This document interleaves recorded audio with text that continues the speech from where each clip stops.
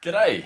In today's video, I'm going to show you how to play Dave the Diver remotely on your phone using a Bluetooth keyboard and your gaming laptop or desktop that can already run the game. To begin with, there will be a few requirements. One, a machine capable of running the game and a little bit of extra power to it.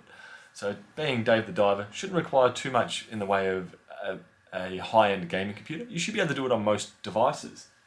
Step two, you're going to want a relatively mid-range to high-range phone that supports Steam Link. And three, well, this is a bit of an optional. You could potentially play via touchscreen. Probably wouldn't recommend it. I'm using a GameSir X2 Bluetooth controller, and that is a dock for a phone as well.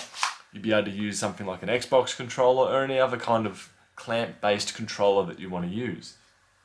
Also, you'd want to have a decent Wi-Fi connection at home for it to run smoothly and you could potentially play it while you're out and about. I'm not going to cover that, but I'm just going to cover playing at the home. So first of all, we want to download Steam Link. We're wanting to download Steam Link. I'm going to the Play Store to do that, which I've already done. Once I've downloaded and installed it, I go to open. And if you have your phone on the same Wi-Fi network as your laptop or gaming computer, it should actually detect it and you should be able to just tell it to join. It will potentially ask you to sign into your Steam account before or after. But once you've done that, you should have a tether, a link to your gaming computer or laptop. And from there, the next step is relatively straightforward.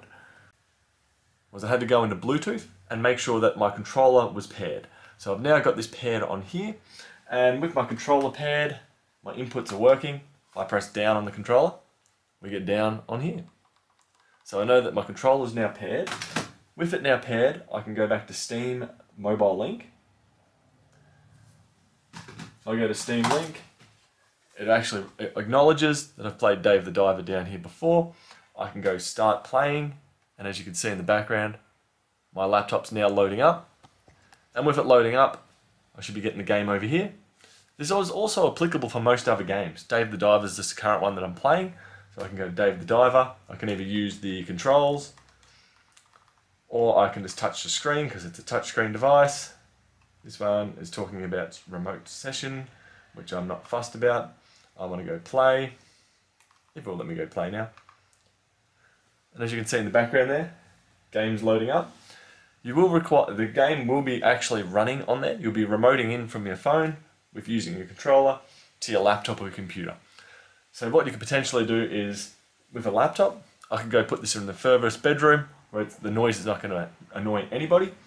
And I can sit here and play Dave the Diver with no issues at all. As I said, that is also applicable for other games as well. So if I go exit and go back to the main menu, I'd potentially be able to select other games from my Steam list to play remotely. So I go back, back, back.